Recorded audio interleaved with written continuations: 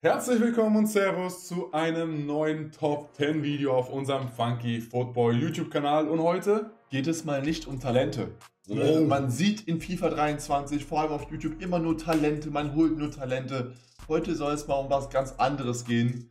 Um so richtig schöne Old Heads, die man vielleicht zu dem einen oder anderen Verein holen kann und um auch mal ein bisschen Spaß mit ihnen zu haben. Ich habe sie schon genannt, die Golden Oldies.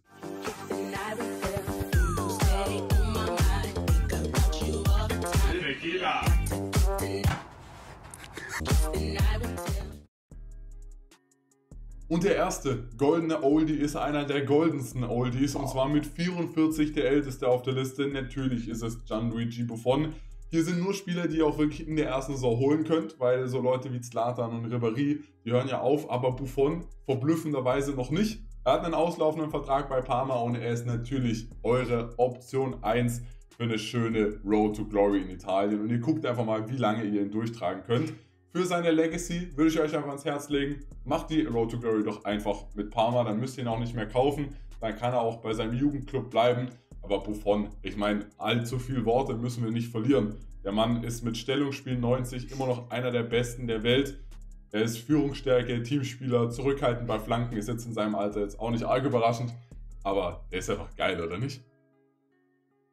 Als Torwartoption Nummer 2 haben wir Hugo Lori, der wahrscheinlich mit der höchsten Gesamtstärke noch ausgestattet ist von diesen Golden Old Heads hier. 87 hat er noch mit 35 Jahren, aber ist natürlich auch klar, er bringt immer noch einfach starke Leistungen, auch wenn er jetzt so langsam in die Jahre kommt. Und bei ihm, ich, wie viele Jahre ist er schon bei Tottenham? Der ist schon Ewigkeiten immer bei Tottenham, gefühlt. wirklich. Ich glaube schon mindestens 10 Jahre. Ich glaube, da lehne ich mich nicht zu weit aus dem Fenster. Aber er ist ja auch für andere Ligen noch eine Option, oder? Auf jeden Fall. Er ist zwar jetzt noch relativ gut, kostet aber deswegen wegen seinem Alter jetzt nicht mehr so viel. Deswegen vielleicht in so einem schlechten Team in Frankreich, vielleicht auch äh, Ligue 2 heißt es wahrscheinlich, Ligue ne? 2 heißt es. Ligue 2 Team, wenn ihr da mal eine Karriere macht, was sehr, was sehr wenig Leute machen, glaube ich, könnt ihr ihn natürlich auch holen, wenn er sich dahin entscheiden würde aus der Premier League. Das ist doch so eine Frage. Ja, aber dann auch, ich meine, der ist ja auch eine Option für Saison 2 und 3. Also wenn ihr Ja, so eine klar. Road to Glory in Frankreich macht und dann äh, aufgestiegen seid und dann Hugo Lloris vielleicht ein, zwei Ratings runtergegangen ist, dann ist der perfekt für euch. Ich bin mal gespannt, ob er noch die 40 Jahre knackt, weil mit einer 87 spielt er, glaube ich, noch relativ lange in FIFA. Ja, vor allem, wenn ihr denn trainiert. Und bis vor kurzem wäre der Kollege nämlich noch der mit dem höchsten Rating gewesen, aber durch diese ganzen Verletzungen in der letzten Saison ist Sergio Ramos auf eine 84 runter. Er ist natürlich aber trotzdem noch eine gute Idee für eine Karriere. Klar, natürlich vor allem in Spanien. Wir machen das irgendwie immer so in unserem Kopf, dass halt die Spanier nach Spanien gehen und die Franzosen nach Frankreich. So ist es ja aber auch in echt. Und Sergio Ramos wäre natürlich perfekt für so eine Sevilla-Karriere. Nochmal dahin zurück, wo alles angefangen hat mit äh, Jesus Navas die älteste rechte Verteidigerseite aller Zeiten bilden, beide 36 und da einfach nochmal ein bisschen chillen. 90 Aggressivität, 91 Sprungkraft, immer noch, also der ist ein athletisches Biest. Ich habe Workout-Videos von dem im Sommer gesehen. gottlos. Also wirklich geisteskrank, was der noch drauf hat. Und er wäre halt einfach ein super Führungsspieler für euer Team, ein Kapitän, den du einfach in jede Mannschaft reinbringen kannst. Und die Preise heute sind spottbillig. Weißt du, wo ich ihn auch sehen würde? Zumindest in echt? Hm. In der MLS. Ich glaube, er ist so ein MLS-Kandidat. Ja, nochmal so ein LA Galaxy oder so. Ja, genau, so ein Typ ist er.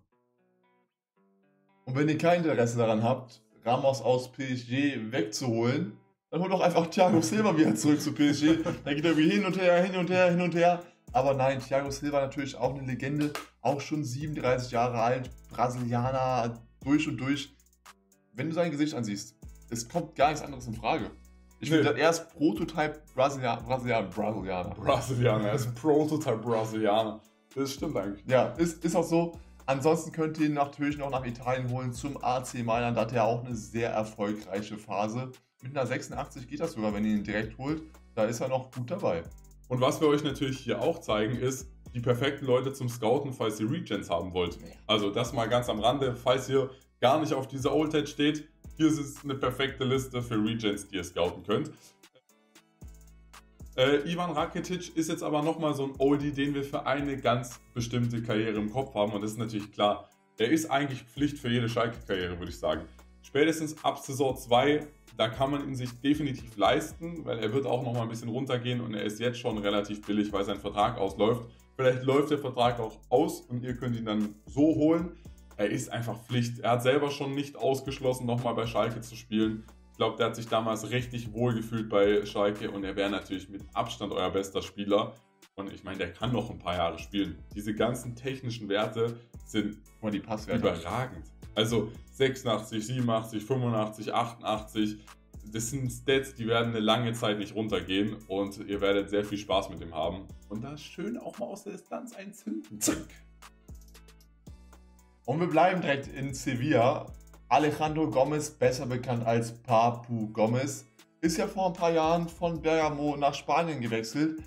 Es war irgendwie so ein komischer Wechsel. Er war eigentlich fast schon eine Legende in Bergamo. Also er war da der beste Spieler gefühlt. Und auf einmal, ja, ich gehe nach Sevilla. Trotzdem, da spielt er jetzt auch anscheinend immer noch ganz gut. 84 Gesamtstärke hat er noch gehalten mit 34 Jahren. Und bei ihm das Besondere ist, man merkt bei den anderen, die Gesamtwertung ist noch relativ hoch. Die Stats für FIFA, sie zu spielen, ist so mäßig. Außer bei Rakitic jetzt. Bei ihm sind die Stats aber noch richtig gut. Schaut das mal an.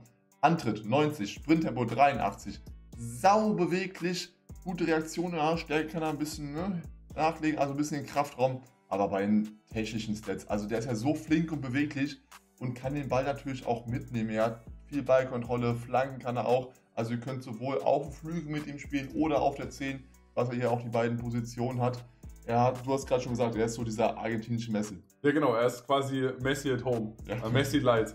Einfach so ein schöner äh, hellblauer Sticker drauf. Light. Ja, dazu kann er auch noch schießen. Also er macht, glaube ich, richtig viel Bock. Wir schauen mal auf seinen Preis. Der ist natürlich ein bisschen höher als bei den anderen, weil er auch erst 34 ist. Aber in ein, zwei Saisons geht das, glaube ich, auch so Richtung 10 Millionen. Gleiches Rating, deutlich älter und deutlich billiger. Wir haben Edin Dzeko im Angebot. Vertrag läuft aus bei Inter Mailand. Hat jetzt natürlich mit Lukaku und Lautaro Martinez auch keine ja, schlechte Konkurrenz da vorne im Sturm.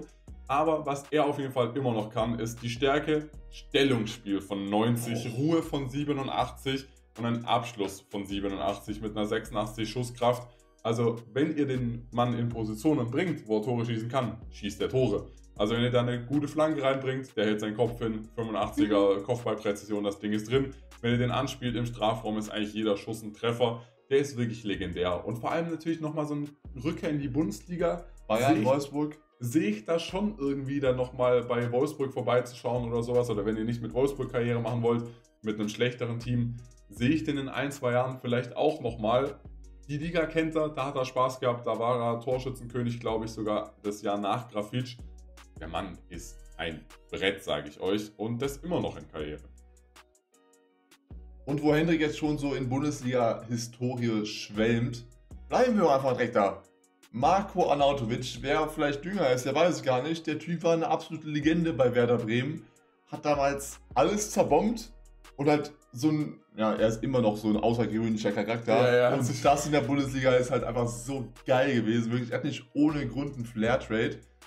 Den halt einfach zurecht und ich hoffe, der wird ihn nie wieder los. Den darf er nie wieder loswerden den noch nach Bremen zu holen. So vielleicht auf MS oder ZOM hinter den hessischen Vögeln. Weil schaut euch mal Schusswerte an. 84 Schusskraft, 82 Weitschüsse. Der Mann hat ganz schön viel Wumms dahinter mit seinen 1,92. Das könnte schon richtig geil werden und ich würde auch empfehlen, ihm nochmal die 5 Sterne Spezialbewegung zu geben. Ja, definitiv. Die hat er sich auch redlich verdient. Es, sagen wir mal so, man würde einfach sagen, er ist ein kranker Baller. Ja, er ist ein kranker Baller. Und bei Luis Suarez gibt es zwei Optionen. Entweder der alte oder der junge. Wir schlagen euch jetzt nochmal den alten vor und zwar den, der richtig gut ist. Einer der besten Stürmer seiner Generation. Und das ist halt nicht übertrieben. Vielleicht sogar der beste, da kann man sich definitiv drüber streiten. Aber Luis Suarez, ich habe es mir im Sommer gewünscht und gewünscht und gewünscht. Ich habe ein Video drüber gemacht. Ich, äh, ich wollte es einfach unbedingt. Ich habe, glaube ich, schon zwei Videos drüber gemacht. Ich will Luis Suarez eigentlich noch in einem Ajax-Trikot sehen. Oh, ja. Es ist leider nicht passiert. Er ist zurück in die Heimat gegangen zu Club Nacional de Football. Seine Entscheidung ist er bestimmt glücklich mit, nochmal in der Heimat zu zocken. Ist sehr wild. Ich habe da mal ein äh, Video gesehen, das Stadion äh, von denen ist wirklich so ein Kreisliga-Stadion. Echt? Ja. Und da kommt jetzt Luis Suarez an. Immer noch geisteskranke Werte. Er ist eigentlich fast genau wie Edin Dzeko in FIFA, nur noch einen Ticken schneller und einen Ticken besser in der Technik, also was so Ballkontrolle und äh, Passspiel und sowas angeht. Ich meine, die Stats sprechen für sich. Wie gesagt, wenn ihr mal eine Ajax-Karriere macht, ist der perfekt für euch. Wenn ihr eine Liverpool-Karriere macht und ein Backup zu David Nunez sucht, der wäre natürlich auch der perfekte Mentor. Oder einfach so mit eurem Lieblingsclub oder irgendwelchen Clubs in Premier League oder sowas. Luis Suarez ist ein Baller und ich liebe ihn.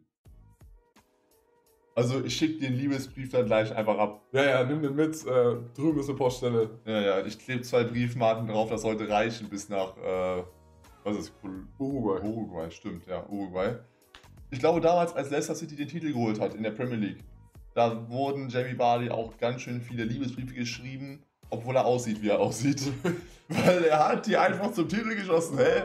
Durch eine, wie kann man durch eine Saison zur Legende werden? Jamie Vardy hat es euch allen gezeigt ist inzwischen auch 35 Jahre alt. Ich glaube, der war früher im Knast. Also irgendwie so, als er 22, 23 war. Er war nicht ganz im Knast, aber er hat auf jeden Fall äh, eine Fußfeste gehabt und durfte nicht ja, weiter weg genau, als äh, genau. ein bestimmter Radius und durfte deshalb in einem Spiel nur eine Halbzeit spielen. Ja.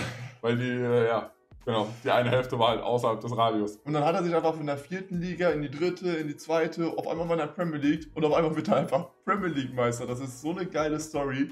Deswegen, warum nicht einfach nochmal machen? Nehmt ihr mit in eure Road to Glory, wenn ihr in der vierten Liga seid. Ist wahrscheinlich noch ein bisschen teuer, aber so in der dritten vielleicht schon, in der zweiten auf jeden Fall. Habt ihr das Geld, ihn zu verpflichten, da kann er euch auf jeden Fall nochmal richtig weiterhelfen. Und er ist nämlich auch noch ein anderer Kandidat, der schnell ist und den man auch spielen kann. Ja, ihn kann man auf jeden Fall spielen. Ich meine, Jamie Vardy in echt ist auch immer noch gut. Leicester struggelt natürlich komplett, aber die letzten Jahre von Jamie Vardy haben gezeigt, der ist ein absoluter Vollblutstürmer. Sieht man hier auch. 88 Abschluss, 87 Schusskraft. Perfekt, wie gesagt, für die Road to Glory. Spätestens in der zweiten Liga kannst du zuschlagen oder könnt ihr zuschlagen. Tragt ihn einfach durch, holt euch danach den Regen, der ist nämlich auch geisteskrank, hatte ja. ich äh, in FIFA 21 müsste es schon gewesen sein. Keenan East damals noch. OGs werden es noch wissen. Stimmt. Oh, der war ja, der war ja, ja unfassbar. Der, der war unfassbar. Keenan East war unfassbar. Ich glaube, wenn ihr Keenan East auf unserem Kanal sucht, müsste auch ein Video nach ihm betitelt sein. Ja, müsste sein. Müsste eigentlich betitelt Keenan East mit dem nächsten Dreierpack oder so. Ja, genau. Und mit seinem schönen blauen äh, Verband, den ich ihm dran gemacht habe. Der war wirklich eine Legende. Also hier auch dicke Kaufempfehlung für den Regen. Und dicke Kaufempfehlung einfach für alle 10, die wir hier auf der Liste haben. Ne? Ja, bei mir war die Suarez, Anautovic, Jeko für die Offensive im Mittelfeld, Gomez und Rakitic. In der IV haben wir Ramos Silva und dann als Torhüter Lori und Buffon. Ja, und das war eine entspannte Liste. Schreibt uns gerne in die Kommentare, was ihr noch für Listen haben wollt. Und dann könnt ihr natürlich noch Like aufs Video da lassen und natürlich unseren Kanal abonnieren, wenn ihr es noch nicht getan habt. Macht's gut, bis zum nächsten Mal. Ciao, ciao. Und Servus. I'm coming home, I'm coming back down tonight.